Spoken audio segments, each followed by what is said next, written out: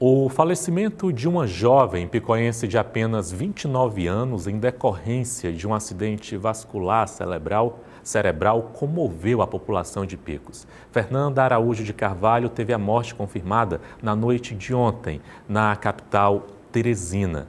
A gente chama a atenção porque a Fernanda tinha apenas 29 anos e, infelizmente, cada vez mais a gente tem se deparado com situações, contextos onde jovens estão perdendo a vida para um aneurisma. Diante dessas circunstâncias, por que cada vez mais a população jovem está sendo acometida por essa doença? O que é que leva alguém a ter um acidente vascular cerebral? Para tratar sobre esse assunto, estamos recebendo ao vivo no Jornal de Picos o médico neurologista, o doutor Técio Luz, que vai trazer mais informações para a gente sobre esse assunto. Doutor, primeiramente, boa tarde para o senhor, seja muito bem-vindo ao Jornal de Picos. Boa tarde, Clebson. Agradecer mais uma vez a oportunidade né, de estar aqui com os telespectadores falando de um tema tão prevalente e né, importante para a sociedade. Doutor, o caso da Fernanda, infelizmente, não é um caso isolado. Não. A gente tem observado que nos últimos anos, cada vez mais jovens são acometidos por acidentes vascular cerebral. O que é que leva alguém com tão pouca idade a ter uma doença como essa? Isso. Então, o acidente vascular cerebral ele tem dois tipos, né? O isquêmico, que corresponde a 85% dos casos, e o hemorrágico, que corresponde a 15% dos casos. E cada vez mais a prevalência aumenta, tanto na população em geral, para você ter uma ideia, anos atrás, é, cerca de 1 a cada 12 pessoas teriam um AVC na vida. As estatísticas atuais são assustadoras, onde 1 a cada 4 pessoas terá um AVC na vida. E da mesma forma que o isquêmico, o AVC hemorrágico, ele vem ficando mais frequente na população mais jovem por vários fatores.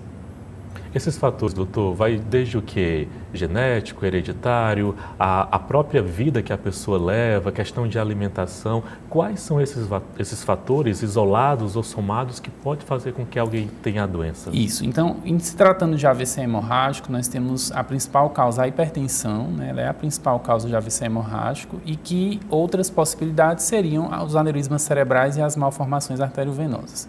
Em se tratando de aneurisma cerebral, né, que é a segunda causa mais comum de AVC hemorrágico, nós temos os fatores genéticos, né, como fatores de risco.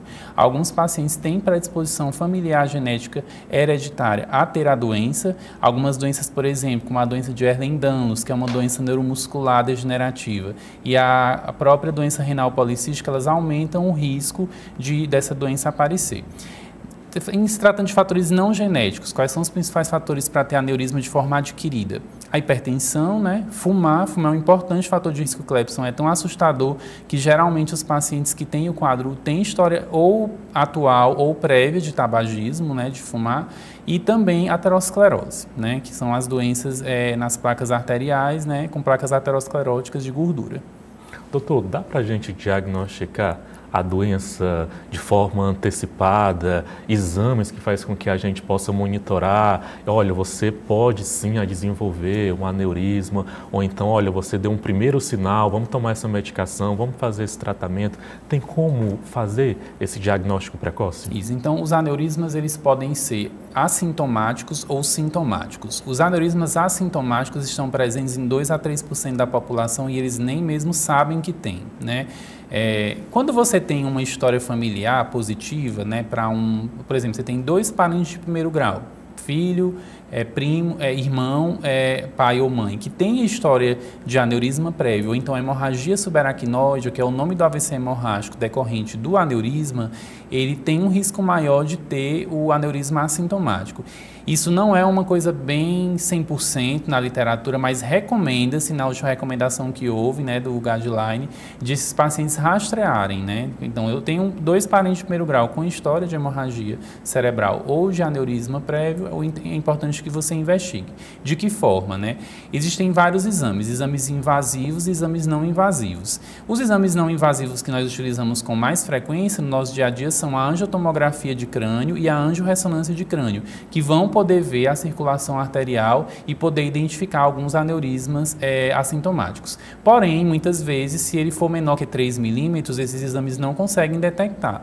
E precisamos lançar mão de exames mais invasivos, como a angiografia digital, que é um exame que só é feito em ambiente hospitalar.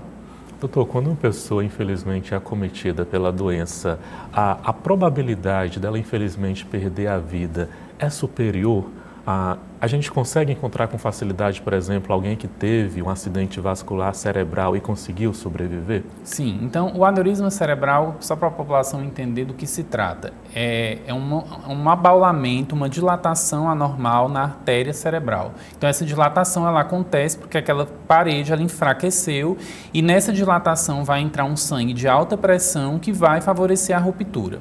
Quando esse aneurisma ele rompe, qual é o principal sintoma? É uma dor de cabeça muito forte, que é o que a gente chama de cefaleia entrovoada. Ela é a pior dor de cabeça da vida do paciente. Geralmente, o paciente se encontra bem e ele tem um pico de intensidade em até um minuto da pior dor de cabeça que ele teve na vida. E aí acontece o fenômeno hemorrágico cerebral, que é a hemorragia subaracnoide. Para você ter uma noção, Cleber, se a população tem noção, cerca de 30% dos pacientes já chegam em óbito no pronto-socorro, né? ou então em morte encefálica. Né? Então, tão grande é, é a gravidade desse problema. Né? E acredita-se que mais de 50% dos pacientes que tenham a hemorragia subaracnoide pelo aneurisma que rompeu pode chegar acima de 50%. Então, dados bem assustadores. E a gente observa, doutor, como, como cada vez mais a medicina a gente tem observado estudiosos, pesquisadores, tentando fazer com que a gente avance nos tratamentos, avance nessa conscientização da população que ela precisa ter uma vida saudável, uhum. uma vida ativa. Se você, por exemplo, é uma pessoa que está dentro desse, desse quantitativo de que alguém na família já teve, a importância de você fazer esse rastreamento e cada vez mais diante desse quantitativo, desse quantitativo de cada vez mais termos jovens acometidos com a doença, se faz necessário, a gente está trazendo essa discussão. Sim. O caso da Fernanda, por exemplo, aqui em Picos, deixa toda uma cidade abalada. A Fernanda tinha uma filha de 3 anos, uma jovem de 29 anos, com a vida toda pela frente, e você se questiona, nossa, mas ela era tão jovem e morrer dessa forma, e por isso que é importante a gente trazer essa informação para você, para você se cuidar, fazer os seus exames, ter uma vida saudável, alimentação, atividade física, para ver se a gente consegue, quem sabe, sabe, né, doutor, junto com todo o avanço da medicina, a gente reduzir esse cenário, reduzir esses números. E Clebson, além dessa parte que você falou, que é importante da questão dos fatores de risco, do rastreio familiar, eu fico impressionado com o número de pessoas que têm dor de cabeça né, e acham que dor de cabeça é normal. Né? Dor de cabeça nunca é normal. Não é para nós, seres humanos, termos dor de cabeça. Isso é uma coisa patológica do, de doença. Então, assim, é, é, grande o número de pessoas que muitas vezes têm medo sentido dor de cabeça e não procuram um médico. Então, é importante que você procure para investigar qual realmente é o diagnóstico. Na maioria das vezes é uma situação benigna, claro, né? mas pode a gente estar diante de uma doença que a pessoa não tem conhecimento conhecimento e que pode ser tratada antes que é, aconteça um evento mais grave. O senhor traz uma informação, doutor, até para dentro da minha própria casa também, que eu conheço gente que às vezes tem ali durante a semana, um, dois dias na semana, uma dor de cabeça. Toma ali um remédio, um efervescente, rapidamente a dor de cabeça passa, mas sempre fica alerta, porque não é normal. Não. O doutor Técio está trazendo essa informação para a gente, dor de cabeça não é normal. Às vezes você levanta as hipóteses, ah, é porque eu tenho um problema de visão, eu tenho um problema aqui, o grau do meu óculos, eu preciso voltar. O sinusite, ou está mais estressado, né? As desculpas são sempre as mesmas. Sempre né? as mesmas. É. São inúmeras desculpas e às vezes você não procura investigar o porquê dessa dor de cabeça constante. Sim. E, e, aí é onde mora o perigo também. Sim, e a própria automedicação, ela leva a problemas, porque pode tornar o quadro crônico, tornar uma dor de cabeça de mais difícil tratamento, mas isso é recorrente. Então, assim, eu vejo no meu dia a dia os pacientes chegarem tardiamente por acharem que ter dor de cabeça é normal. E o primeiro sintoma de um aneurisma é essa dor de cabeça entrovoada súbita. Eu já peguei pacientes, para você ter uma noção, e, a, e os telespectadores terem, no, terem noção, Clebson, que ficaram sete dias com sangue na cabeça, entendeu? Entendeu? Né? Estavam tendo uma hemorragia cerebral e só procuraram pronto-socorro sete dias depois, né? Quando pode acontecer uma verdadeira catástrofe, né? Neurológica. Então, essa, realmente essa questão do diagnóstico preciso e lembrar que boa parte dos casos dos aneurismas cerebrais tem tratamento, é um tratamento endovascular, né? Feito por angiografia, é, que é uma espécie de cateterismo entre aspas, né? Para a população entender melhor, onde o, o neurocirurgião, o cirurgião neurovascular, ele vai acessar a artéria cerebral e colocar uma mola, né, o que é chamado de coil, né, naquele, é naquele espaço do abalamento do aneurisma, fecha aquele local e o paciente pode é, voltar às suas atividades habituais sem sequelas em muitos casos. Importante essas informações, inclusive toda essa entrevista com o Dr. Técio Luz, você pode rever a qualquer hora e lugar. Daqui a pouquinho, assim que terminar o Jornal de Picos, você tem como acessar essa entrevista através do nosso aplicativo CV Play. É só você apontar a câmera do seu celular aqui, ó, para esse QR Code. Ele vai te levar direto para o nosso aplicativo, o CV Play, e você pode baixá-lo de graça em qualquer loja virtual. Conversamos com o médico neurologista, Dr. Técio Luz, trazendo informações para a gente sobre acidente vascular cerebral. Doutor, eu queria agradecer a entrevista do senhor. Eu que agradeço, Clepson. Estou à disposição de vocês. Boa tarde. Boa tarde.